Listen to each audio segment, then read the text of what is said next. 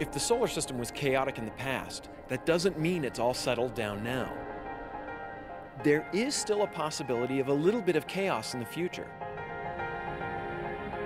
In the future, the gravitational pull of the planets on each other will gradually disrupt their orbits.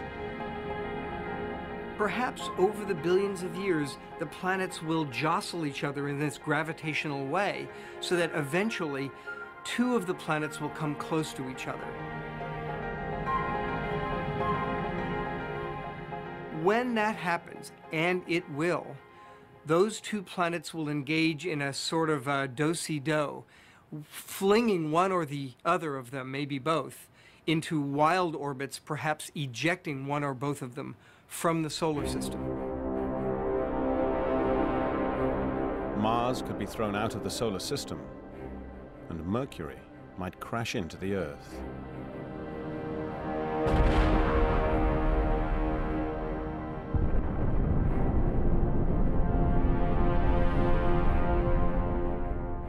The entire house of cards that is our solar system would completely fall apart.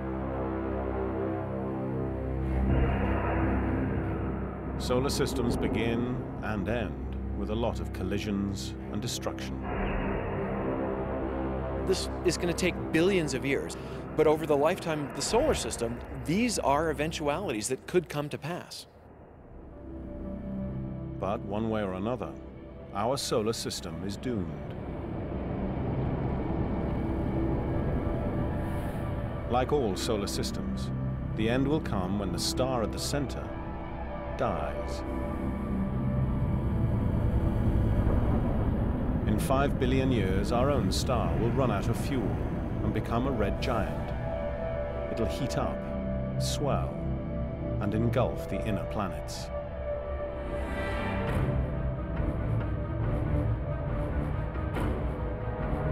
The Earth's surface will be scorched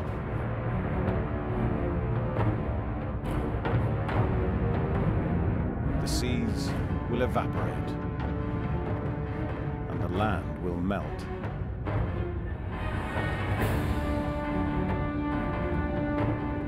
The sun will become about as big as where the Earth's orbit is.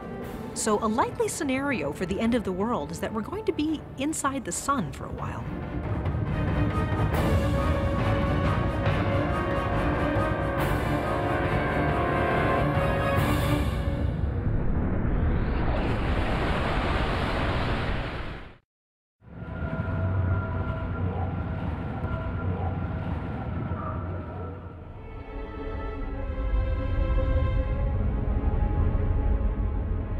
Planets are on safe, stable orbits.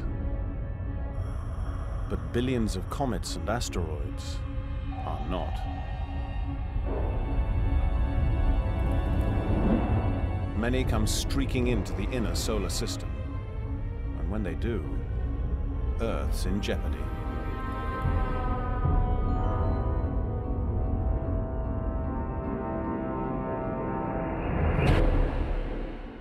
Meteor crater, which we see here today, formed as a result of a 150-foot rocky iron object coming in and slamming into the Earth roughly 50,000 years ago.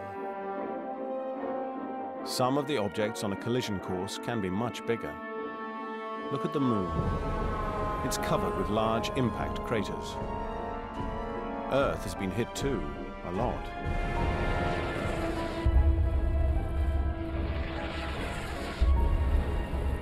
But these craters have eroded. We know that a huge asteroid smashed into the Earth off the coast of Mexico 65 million years ago. It was traveling at 72,000 kilometers an hour, and when it hit, it released more energy than 5 billion atomic bombs.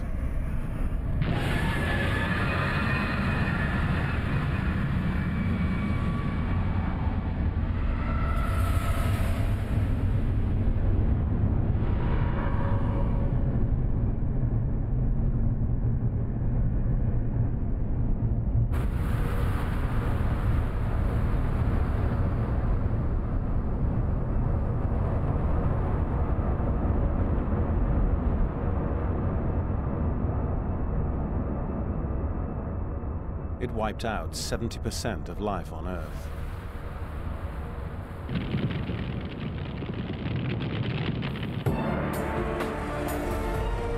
A few more impacts similar to that could destroy all life on Earth. But believe it or not, Earth is a giant protector. Jupiter is more than just another pretty face through the telescope. It's actually really important for life on Earth. Jupiter's gravity is so huge, and it's just in the right place in the solar system, that it protects the Earth from comets that come from deep in the solar system and swing by the Sun and could possibly hit the Earth. Jupiter plays the role of the biggest baseball bat in the solar system. As these comets come by, most of them get knocked out of the solar system by Jupiter. In 1994, comet Shoemaker-Levy 9 raced towards the inner solar system, but it never got past Jupiter.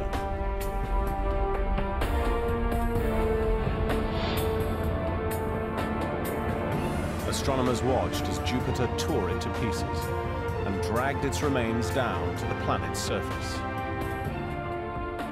We have seen comets smash into Jupiter, creating fireballs that were bigger than the Earth. They were the biggest explosions ever seen in our solar system.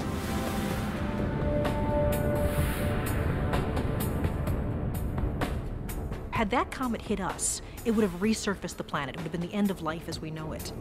If Jupiter wasn't there, we believe that the impact rate on the Earth would be something like a thousand times more than we see today.